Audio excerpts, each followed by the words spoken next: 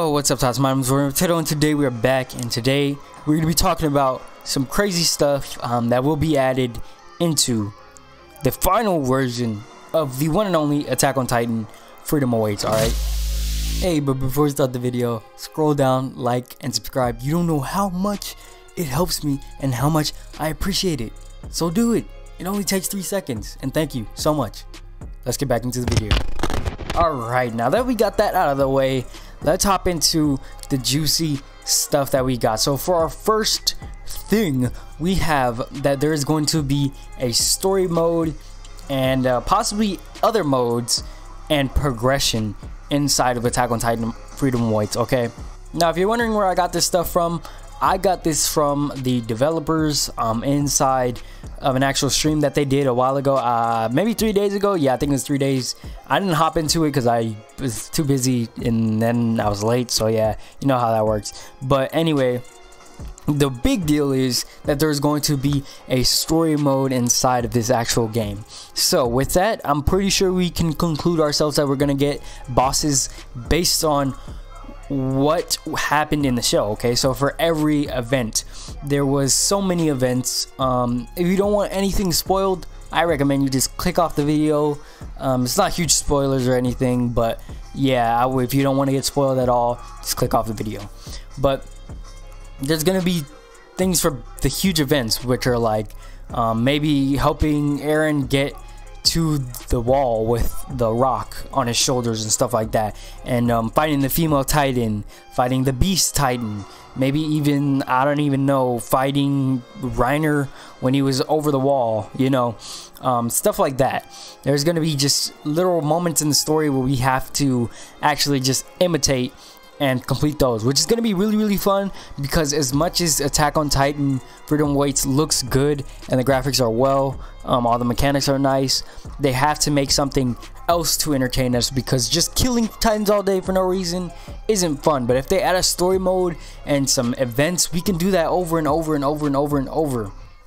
And maybe even different modes such as like maybe kill killing spree mode. I forgot what it was called but it's a mode where you just keep going and going and going until you die you know stuff like that. Like just infinite titans they never stop until you die. Stuff like that just little cool game modes that we can have fun together maybe have a have a leaderboard stuff like that. So there actually is there's already a leaderboard in game for like kills but leaderboards for other stuff you know. All right now the next thing we have is that attack on titan will not be a free game at first. It will be free game eventually, but there are so many stages that they actually have to go through to actually put this game in the right place that they want it to be. So, with that being said, the game will not be free after the demo. There's going to be pre-alpha, there's going to be alpha, beta, all that stuff like that. So just be prepared for those stages because the game is most likely not going to be free at that stage. But then eventually it will be free, so hopefully that doesn't last too long. If so, we'll just have to bear with it. I'll make sure to make you guys videos from the inside because I'll, I'll I'll pay for access so you guys can watch, so you can see where you're up against in the future. But yeah, with that being said, we know that there's going to be some payment involved for pre-alpha, alpha, beta, pre-beta, stuff like that. Alright, now the last thing I want to touch on before I end the video is that uh, someone asked a question in the stream, how are the Titans going to behave as far as abnormals? They're trying to find out what activities can we see the Titans doing inside of Attack on Titan Freedom Awaits.